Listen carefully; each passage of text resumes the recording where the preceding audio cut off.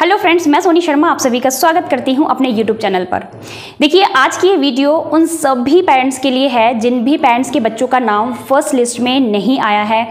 और कहीं ना कहीं वो सभी पेरेंट्स बहुत ही टेंशन में हैं कि मैम हमने इतनी मेहनत से डॉक्यूमेंट्स बनवाया था और अपने बच्चे का फॉर्म भरा था, लेकिन हमारे बच्चों का नाम इस साल भी नहीं आया, क्योंकि बहुत से ऐसे पेरेंट्स हैं आप में से जिन्होंने लास्ट ईयर भी फॉर्म भरा था और इस साल भी भरा है। और बहुत से ऐसे पेरेंट्स हैं जिन्होंने फ़र्स्ट टाइम ये फॉर्म भरा था तो मैं आप सभी से कहना चाहूँगी कि देखिए, आपको टेंशन बिल्कुल भी नहीं लेना है। ये फॉर्म एक, आपके पास ज़रिया होता है अपने बच्चे को इस कैटेगरी में पढ़ाने का। और एक फॉर्म में नाम ना आने से ऐसा नहीं होगा कि आप अपने बच्चे को किसी स्कूल में नहीं पढ़ाएँगे। आपने अपने बच्चों के बारे में अच्छा ही सोचा होगा। और कहीं ना कहीं आप अपने बच्चों के एडमिशन के लिए तैयार होंगे और अपने बच्चों का एडमिशन करवाएँगे ही करवाएँगे। चाहे सरकारी स्कूल हो या प्राइवेट स्कूल हो, आप अपनी क्षमता के हिसाब से अपने बच्चों के लिए अच्छा ही सोचेंगे एक अच्छे स्कूल में ही अपने बच्चों का एडमिशन करवाएँगे। तो आपको बिल्कुल भी निराश नहीं होना है कि आपके बच्चों का नाम इस साल नहीं आया है। देखिए, हर साल डी की तरफ़ से ये फॉर्म निकलते हैं तो इस साल अगर आपके बच्चे का नाम नहीं आया है, आप नेक्स्ट ईयर दोबारा ट्राई करिएगा।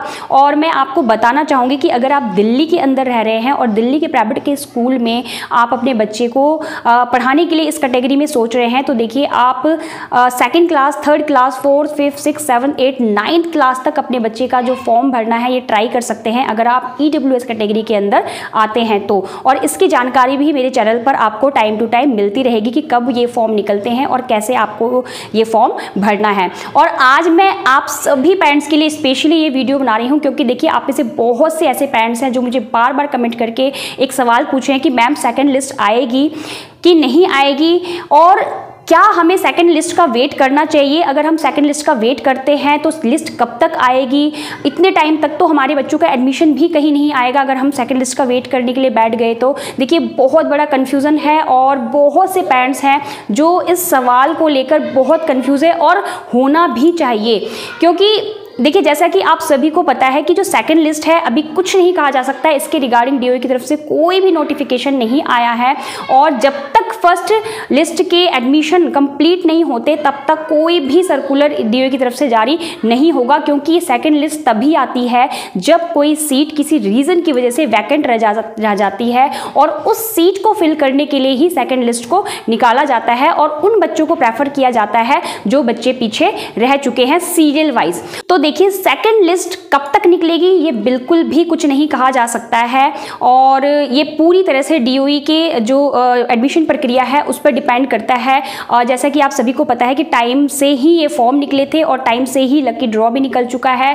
और एडमिशन की जो डेट है, वो भी बहुत ही अच्छे टाइमिंग तक रखी गई है। लास्ट डेट इकतीस मार्च दो क्योंकि जैसे ही इकतीस मार्च दो हज़ार तेईस तक बच्चों का एडमिशन होगा फ़र्स्ट या सेकेंड अप्रैल से बच्चे क्लास लेना स्टार्ट कर देंगे। तो टाइम से ही सारी चीज़ें हो रही हैं इस बार। तो सेकेंड लिस्ट भी मुझे लगता है कि टाइम से ही निकलेगा। मे बी आपकी जो सेकेंड लिस्ट है अप्रैल या मई के बीच में निकल जाए। बट अभी कुछ भी नहीं कहा जा सकता है जब तक सर्कुलर नहीं आता है। अब देखिए, वो पेरेंट्स जिन्हें टेंशन है कि अगर हम सेकेंड लिस्ट का वेट करते हैं तो हमारे बच्चों का एडमिशन बीच के सेशन में कैसे होगा? किसी स्कूल में हम क्या करें? हम सेकेंड लिस्ट का वेट करें या ना करें? देखिए, मेरे अकॉर्डिंग सेकेंड लिस्ट जब भी निकलेगी वो बहुत ही कम सीट्स के ऊपर निकलती है और क्योंकि जो बची हुई सीट होती है, उसके ऊपर बच्चों को प्रेफर किया जाता है। उसके ऊपर जो बच्चे को है एडमिशन लिया जाता है तो बहुत ही कम सीट बचती है। तो सभी का नाम तो उसमें नहीं आ सकता है। तो मैं आप सभी से कहना चाहूँगी कि अगर आप किसी स्कूल में सोच कर बैठे हैं कि आपको अपने बच्चे का एडमिशन इस स्कूल में करवाना है, आप बेफिक्र होकर उस स्कूल में अपने बच्चे का एडमिशन करवा लीजिए। चाहे वो सरकारी स्कूल हो या प्राइवेट स्कूल हो, कोई भी स्कूल हो उसमें आप अपने बच्चे का एडमिशन ज़रूर करवा लीजिए। देखिए, बहुत से पेरेंट्स हैं जो ये टेंशन में रहते हैं कि अगर हमने प्राइवेट स्कूल में किसी में करवाया तो वो हमसे पूरी फ़ीस ले लेंगे। देखिए, वो तो लेंगे ही, क्योंकि उनके लिए आपकी वो जनरल कैटेगरी के एडमिशन्स हैं, वो तो लेंगे ही लेंगे। बट आपका नाम, अगर किसी बच्चे का नाम सेकेंड लिस्ट में आ जाता है तो उस केस में देखिए, आपको स्कूल से पहले ही बात करके रखना पड़ेगा कि इस तरह से हमने फॉर्म भरा था और फ़र्स्ट लिस्ट में हमारे बच्चों का नाम नहीं आया है। मे बी सेकेंड लिस्ट में में अगर आ जाता है तो हमारे बच्चे को हम उसी स्कूल में एडमिशन करवाएँगे। तो फ़िलहाल के लिए हम आपके स्कूल में अपने बच्चे को एडमिशन करवा रहे हैं। तो ये क्लियर करके आप स्कूल में एडमिशन करवा सकते हैं और जो भी चार्जेस होंगे, जो भी होंगे वो स्कूल वाले आपसे जितना कॉपरेट कर पाएँगे, आपसे ज़रूर करेंगे। और गवर्नमेंट स्कूल में अगर आप अपने बच्चे को डालना चाहते हैं तो बेफिक्र डालिए क्योंकि वहाँ पर कोई फ़ीस आपकी लगनी नहीं है। अगर गवर्नमेंट स्कूल में भी आपके बच्चे को एडमिशन हो जाता है तो जब भी सेकेंड लिस्ट में आपके बच्चे का नाम आएगा, आप वहाँ से निकाल के तुरंत अपने बच्चों को उस स्कूल में एडमिशन दिला सकते हैं, ले सकते हैं। और यहाँ कोई भी कोई भी कहीं कन्फ्यूज़न नहीं है। अगर आप इस बात को लेकर टेंशन में हैं कि हम सेकेंड लिस्ट का वेट करने के लिए बैठ जाते हैं तो हमारे बच्चे की पढ़ाई का क्या होगा? तो देखिए, आपको अपने बच्चे की पढ़ाई को नुकसान नहीं करना है।